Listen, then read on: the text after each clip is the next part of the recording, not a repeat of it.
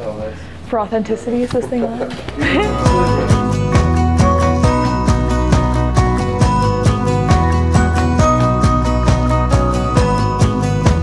To me, being a Hope Squad member is kind of being the eyes and ears of the school. So being someone that everyone can go to for comfort and kind of that aura that we all radiate.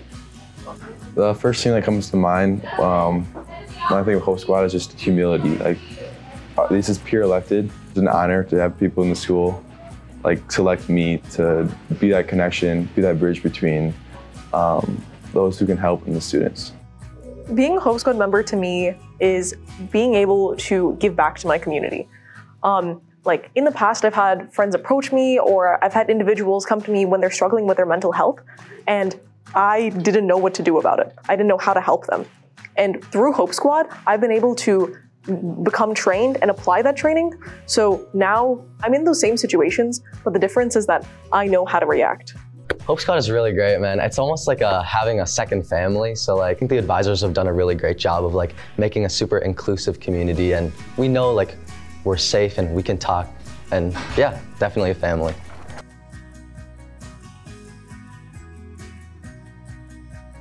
I think the Hope Squad has really just brought that mental health communication to the forefront of the Brookfield East community. As of right now, we have the Hope Wall. We have just a lot more genuine conversations about mental health, I would say. I think overall it definitely makes our school a more positive community. I think that it destigmatizes talking about mental health a lot because I know that a lot of people are scared to talk about it. But I think as a school with Hope Squad, if we talk about mental health and that it's okay if you're struggling just to reach out, it makes our school like a better place for sure. Yeah, Brookfield East is the one place where people take actual actions to finding hope for people and ending the stigma around mental health. Instead of just talking about it, we take those actions and assign those people who can provide that help. So I think one of our main impacts is um, creating more open discussion around mental health. We've been able to talk about topics that weren't as openly talked about before. And at the same time, I think our biggest impact is saving lives.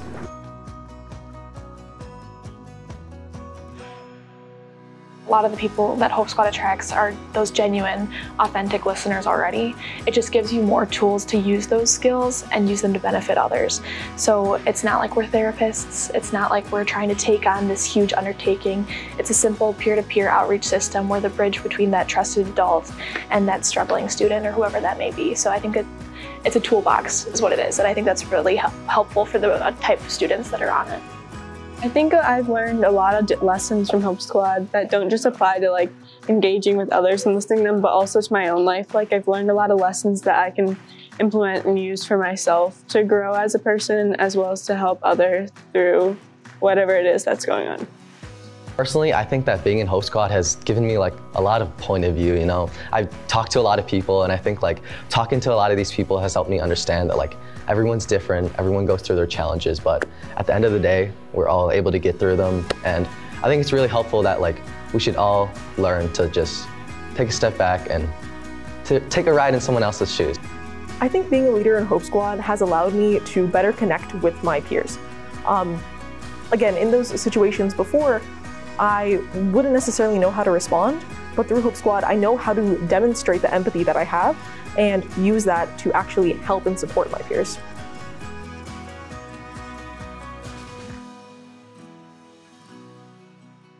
I don't think it's very difficult to balance it. It's I never feel stress for being from being in it, and I think a big main part of that is that the advisors who are in the Hope Squad they remind us that we are not the counselors. Like we don't have to give these people straight up advice. We're just the bridgeway to the counselors, so that I never feel pressure that like I'm harming a person or anything. I just feel that I'm helping them.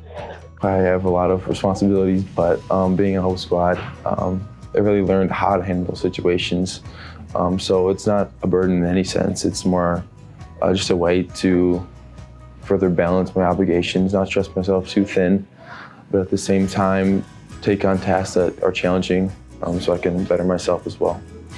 To me, being a leader in Hope Squad isn't necessarily like an added responsibility.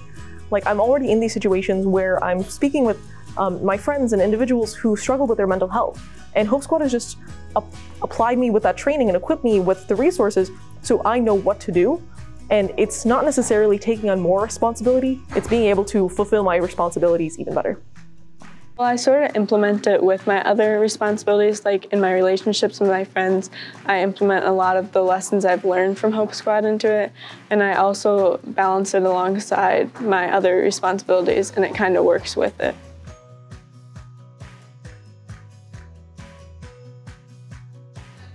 I would tell new Hope Squads to be bold and be open because it's not easy to start new things, and especially when it's ending the stigma around such a big thing like mental health. I would tell them that awareness is very important because it makes people feel less alone.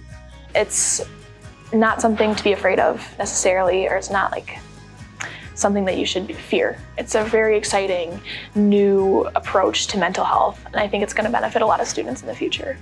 Just trying to like get get your Hope Squad's name out there. I think that's pretty important. Um, having people know like you can talk to these people and you can trust these people. That's very important, and also like if it's maybe like a more like well-known organization, maybe people would be more willing to talk. But I don't know. Yeah, just get your name out there. Take that time to just reach out to someone. Um, it could be a friend. It could be someone that you don't even know, but even an action that might seem so insignificant to you can be so meaningful to someone else. And just taking that one second can make a whole world of difference. I would tell them just to be excited, be optimistic, because it's a great opportunity to connect with more people, build a great sense of community at your school, and it's just a great opportunity.